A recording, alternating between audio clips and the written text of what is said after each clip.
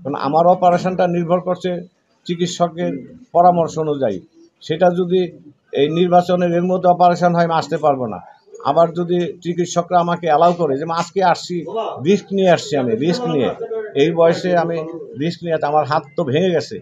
আমি চলাফেরা করা, হাতে উঁচু নিচু হইলে আমার সমস্যা হয়। একটু রাস্তাঘাটে উঁচু থেকে নিশ্চিত পড়ে গেলেই সমস্যা। সেই কারণে আমি আসছি রিস্ক নিয়ে।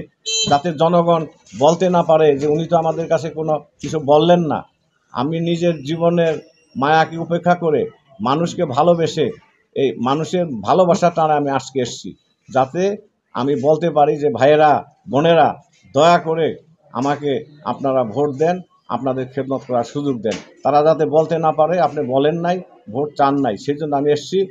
যদি নির্বাচনী প্রক্রিয়া সুষ্ঠু স্বাভাবিক থাকে, নির্ভয়ে ভোট দিতে পারে নিরাপদ অবস্থা বিদ্যমান থাকে শান্তি শৃঙ্খলা বিদ্যমান থাকে অবশ্যই তারা থাকবে ইনশাল্লাহ।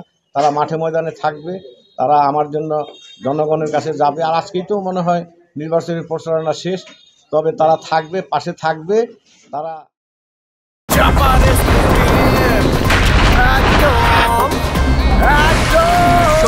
তোমার মামা। এত খাও চাপার জোর বাড়াও।